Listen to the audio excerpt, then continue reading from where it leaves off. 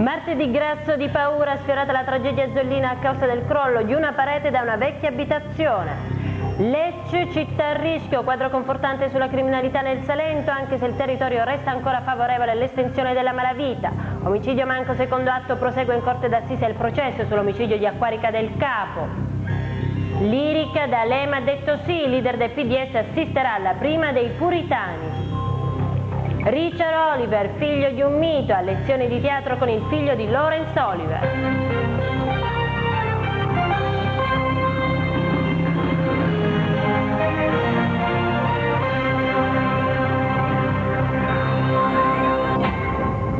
Buon pomeriggio dal TG8, come avete appena ascoltato è sfiorata la tragedia a Zollino, martedì scorso in pieni festeggiamenti per il Carnevale. Un masso infatti è caduto dal terrazzo di una vecchia abitazione sita in pieno centro del paese proprio al passaggio del corteo di maschere.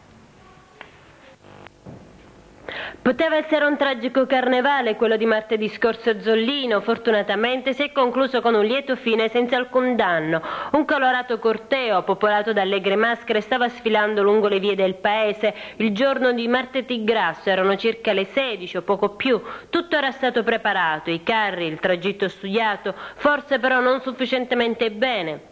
Infatti il corteo stava per entrare in via Clementi alle spalle della chiesa di San Pietro e Paolo quando ci si è resi conto che le dimensioni dei carri carnevaleschi erano troppo grandi rispetto alla via che così risultava essere stretta.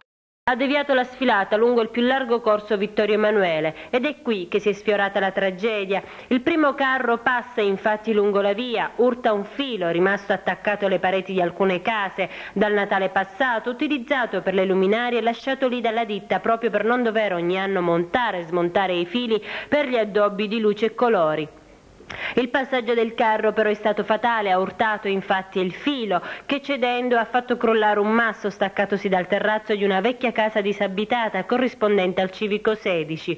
Un peso di circa 50 kg ha danneggiato il marciapiede che fiancheggia la via. Fortunatamente in quel momento nessuno passava sul marciapiede, solo per una pura casualità, considerato che era in corso una grande manifestazione e che la via è sita in pieno centro di Zollino. Il tragitto, come si diceva, era stato studiato le vie dove sarebbe dovuto passare il corteo erano state tutte controllate eccetto via Vittorio Emanuele e le altre rimaste fuori dal tragitto. Solo non si è tenuto conto di quelle che erano le dimensioni del corteo e soprattutto di quelle dei carri carnevaleschi.